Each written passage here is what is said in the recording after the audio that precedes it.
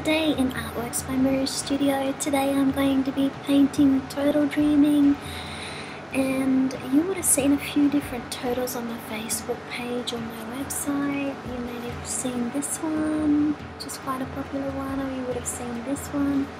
And there's many more that you would have seen as well.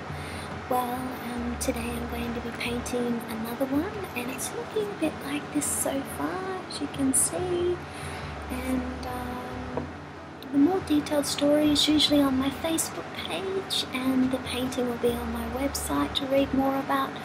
Or to get one especially for yourself or for someone special. And um, the turtle represents our uh, emotions and using the power of our emotions to reach our goals and to use that power to bring our passion out more.